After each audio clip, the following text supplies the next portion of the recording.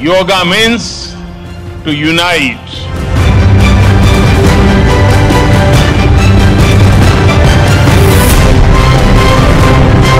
It is wonderful to see the entire world come together again for yoga. I, I think that this event and, and Prime Minister Modi has done a wonderful thing. I think India is going to be more and more important as the years go on. Yoga really helps unify the world, and it's really great for the world to share on this day. People get to cherish and harmonize love and peace to change the personality to help the world. This yoga is great Indian culture.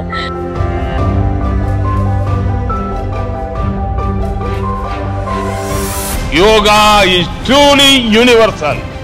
Yoga is a way of life, a way to live in harmony with self, with others, and with nature.